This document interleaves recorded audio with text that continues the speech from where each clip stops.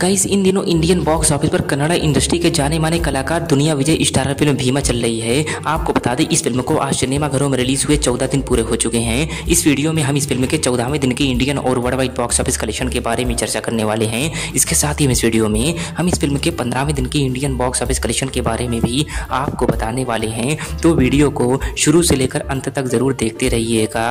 Guys आपको बताते चलें, फ़िल्म भीमा एक एक्शन थ्रिलर से भरपूर फ़िल्म है। साथ ही साथ आपको बता दें, इस फ़िल्म को वर्ल्ड वाइड बॉक्स ऑफ़िस पर 1200 स्क्रीन पर रिलीज़ किया गया था। वहीं इस फ़िल्म के स्टार कास्ट में हमें दुनिया विजय कल्याणी, राजू ड्रैगन मंजू, कॉकरोच, सुधी और रंगियाना रखू जैसे कलाकार नज़र आए हैं। वहीं आपको बता दें, इस फ़िल्म का निर्देशन दुनिया विजय ने ही किया है। साथ ही साथ आपको बता दें, इस फ़िल्म को आई पर सेवन आउट ऑफ़ टेन की रेटिंग मिली है। वहीं अगर बात की जाए इस फ़िल्म के बॉक्स ऑफ़िस कलेक्शन की, आपको बता दें, इस फ़िल्म ने अपने पहले दिन इंडियन बॉक्स ऑफ़िस से तीन करोड़ पचासी लाख रुपए का कलेक्शन किया था। पहले हफ़्ते में इस फ़िल्म ने 16 करोड़ रुपए का कलेक्शन किया था। वहीं इस फ़िल्म ने अपने दिन बारहवें दिन 45 लाख, तेरहवें दिन अड़तीस लाख रुपए का कलेक्शन किया था।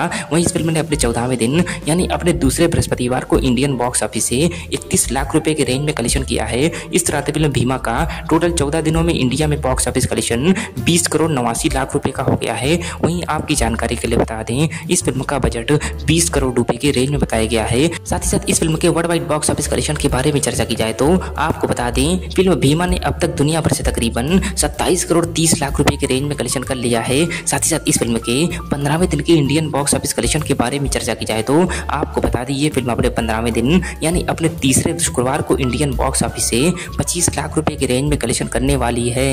वैसे आपको कन्नड़ इंडस्ट्री के जाने माने कलाकार दुनिया विजय स्टार फ़िल्म भीमा को लेकर क्या कहना है, हमें कमेंट बॉक्स में कमेंट करके अपनी राय देना मत भूलिएगा। वहीं ऐसे ही वीडियो के अपडेट के लिए हमारे चैनल मूवी फॉर अपडेट को सब्सक्राइब करना बिल्कुल मत भूलिएगा।